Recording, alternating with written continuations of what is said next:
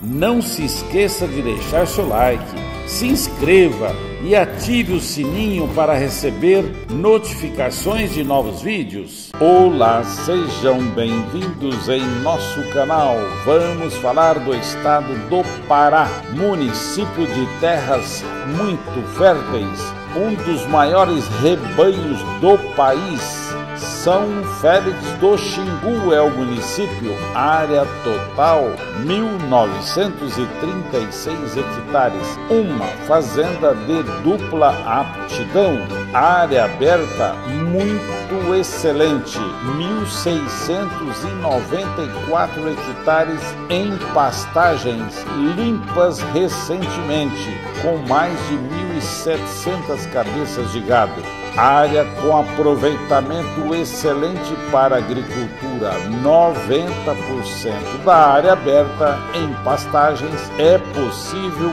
fazer agricultura, plantio de grãos Topografia plana e levemente ondulada. Teor de argila de 30 a 40%. Tipo de solo: terra amarela, terra vermelha e terra preta de cultura. Índice pluviométrico de 1.900 milímetros a 2.200 milímetros por ano. Recursos hídricos nascentes, emagiando um rio muito piscoso, bom volume de água Logística 145 km da sede do município de São Félix. Acesso excelente, inclusive para carreta de boi. O ano inteiro transita normalmente. Benfeitorias, casa sede, casa de funcionários, curral básico, energia elétrica, poço e cercas em bom estado.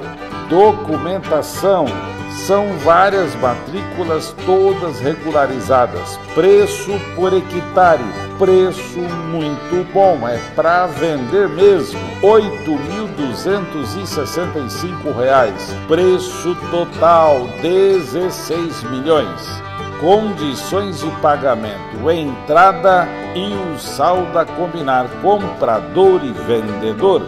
Nossa imobiliária cresce a todo dia graças aos nossos companheiros e parceiros. Atuamos no Mato Grosso do Sul, Tocantins, Pará e Maranhão. Temos centenas de imóveis à sua disposição.